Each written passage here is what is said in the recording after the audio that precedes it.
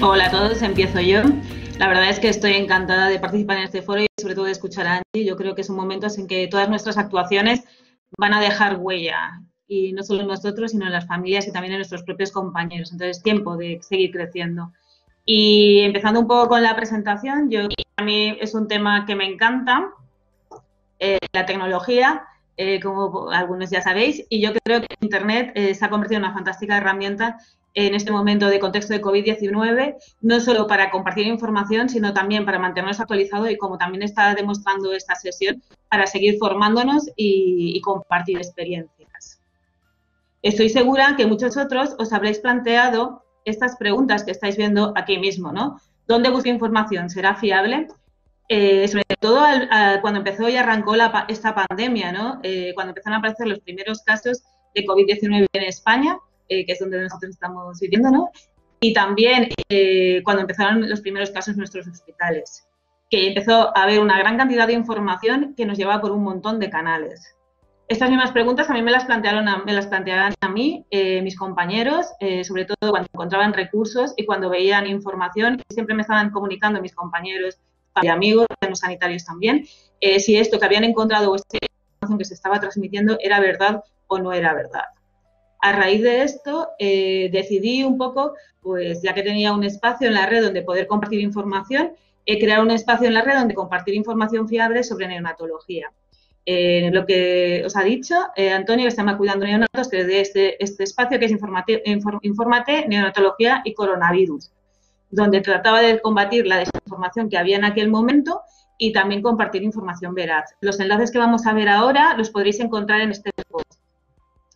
Yo creo eh, que antes de empezar, y algo que está muy en boga ahora y que tenéis que recordar, son los principios básicos de conocer páginas web fiables sobre salud. Esto lo creó la Agencia eh, de Calidad Sanitaria de Andalucía hace ya unos años, como veis aquí en el 2012, pero hoy está muy en boga y sobre todo en este tiempo de coronavirus. Lo más importante es que la información en Internet también caduca. Eh, yo creo que a estas alturas ya os habréis dado cuenta todos de que las recomendaciones sobre el coronavirus están cambiando continuamente conforme avanza la pandemia de un lado y como avanza el conocimiento sobre ella. Por eso, cuando accedáis a una web, siempre tendréis que ver eh, cuándo fueron publicados esos documentos o esa información que estáis, estáis viendo y plantearos si puede haber una información posterior. Otro punto muy importante es que una web fiable no debe ser anónima nunca. Siempre tenemos que saber quién hay detrás. Es una, autoridad sanitaria, es un personal sanitario, quién hay detrás. Y también que la información que nos estén transmitiendo esté apoyada en una base, en una base científica, en un estudio o en, unos, eh, en un informe, por ejemplo, del ministerio que hemos estado viendo. Documentación muy interesante, una web que yo creo que debería ser de cabecera actualmente y que ya han hablado en cierta manera de ella en esta sesión, es la web del Ministerio de Sanidad. Está apostando fuertemente por hacer información visible para todos los grupos. Me parece muy interesante porque tenéis la situación actual que podéis comprobar vosotros mismos en tiempo real, ahí mismo, y luego un espacio dirigido a los profesionales sanitarios, que estos documentos que os han estado enseñando los distintos eh, compañeros han salido de aquí, los documentos técnicos de recién nacido y, y del cuidado. También podéis encontrar allí eh, documentos que han creado eh, relacionados sobre el manejo del niño hospitalizado y el niño en atención primaria.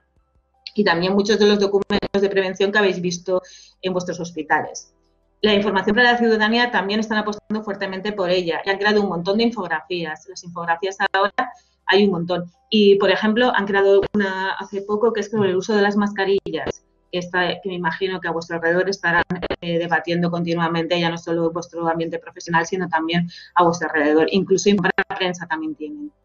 La CDC, que también hemos nombrado aquí, también ha creado un espacio para el coronavirus un espacio dirigido a la ciudadanía en general, que esta vez lo tenéis en español, pero para los profesionales lo tenemos en inglés. Pero bueno, podéis acceder igual. Podemos también, eh, un recurso que me parece súper interesante, que está un poco fuera de este aspecto, es la Biblioteca Murciana de Salud.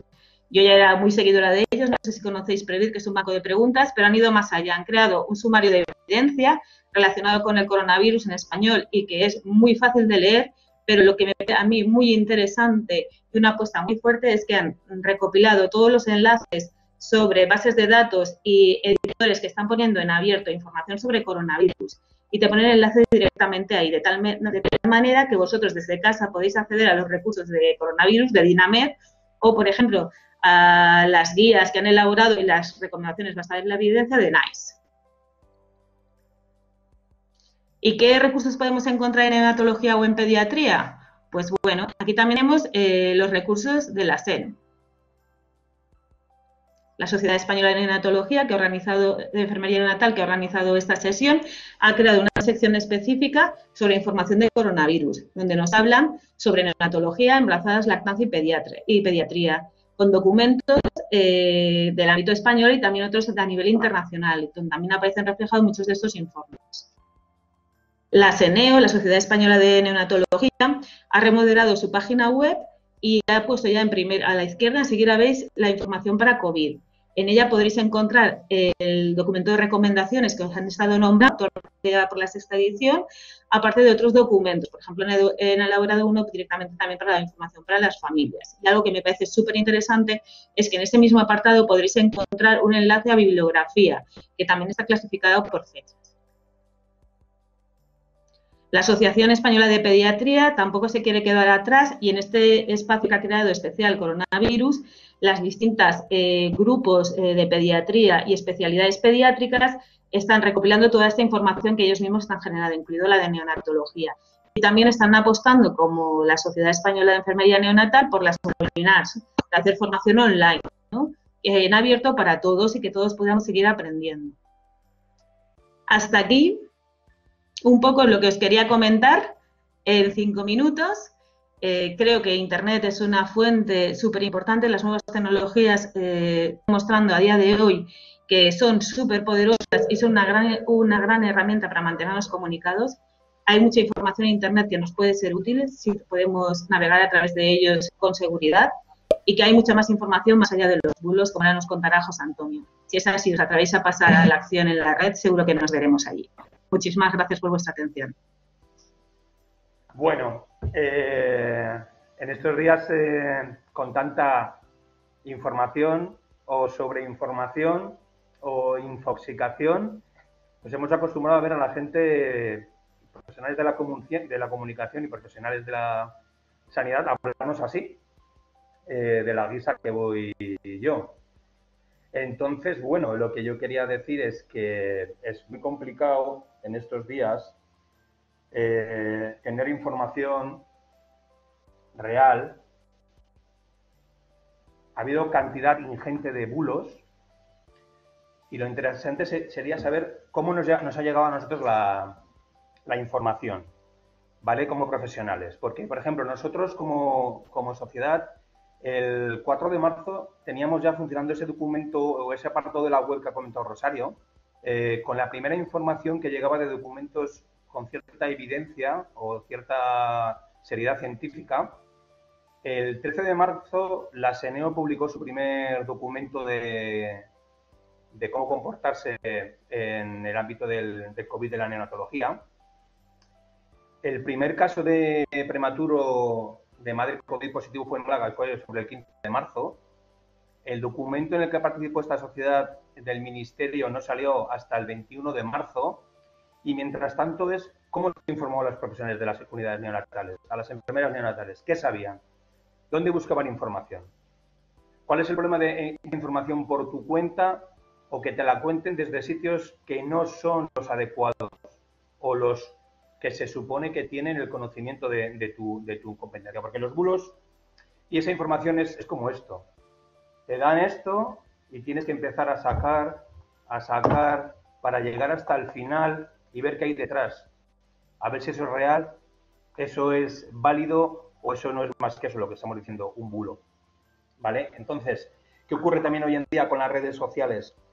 Eh, pues como dice un amigo mío, pues mira, antes en las fiestas del pueblo, en la verbena, eh, cuando subía el tonto al escenario, le solían apagar el micrófono. Y hoy en día con redes sociales, pues a la gente se le da un altavoz. Y el que más grita, pues parece que es el que más se le escucha o el que más tiene, tiene razón.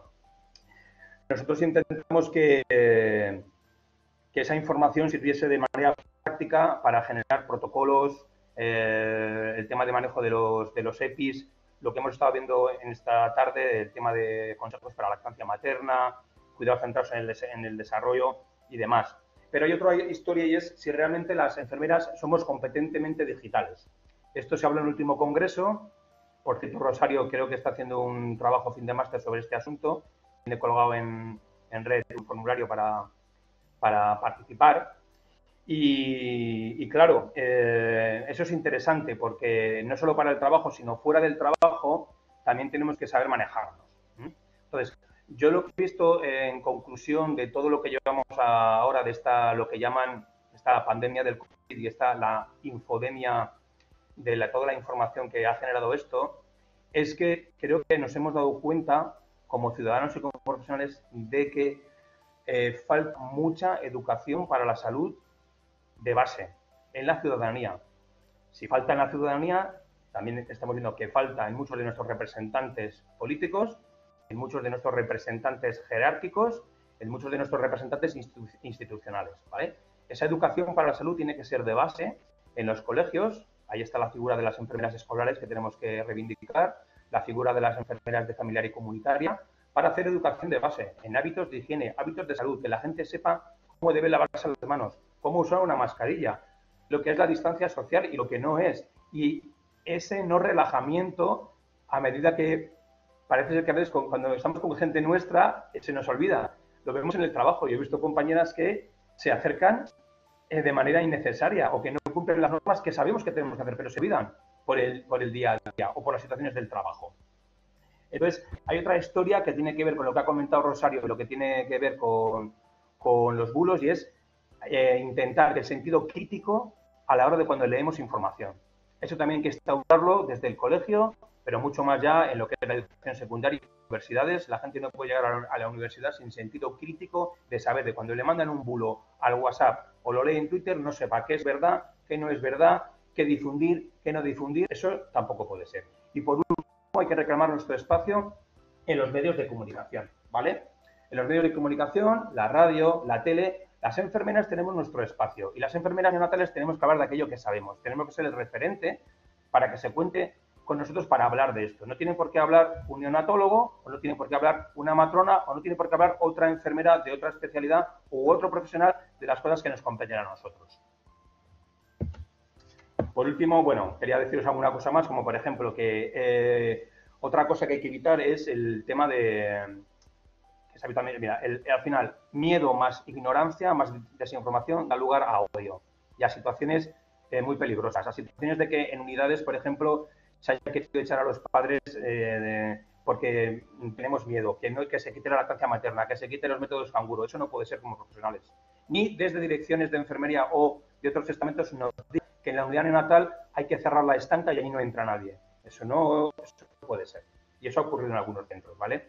Luego, os diría también que, que bueno, eh, se han estado haciendo cosas esto, muy interesantes, eh, que las redes, bueno, también tienen su parte positiva, ¿vale? Y es que, por ejemplo, la, sociedad de, la Asociación de Periodistas de Sanidad sacaron un glosario de términos de epidemiológicos sobre el COVID eh, y ya sin más, por no alargarme un, poco, un poco más con esto, es que en los hospitales y en los centros que hay de comunicación tenemos que buscar ese apoyo a la hora de generar comunicación y también que hay que tener bastante cuidado con los, usar los grupos de trabajo de WhatsApp como medio oficial de comunicación, ¿vale? Porque WhatsApp no es un medio seguro, hay que usar el mail institucional y luego hay que tener cuidado lo que difundimos luego nosotros como profesionales, tanto en esas redes sociales como en esos grupos, porque si no llegamos a, bueno, a situaciones como que está muy bien un baile y una cosa que relaje, pero igual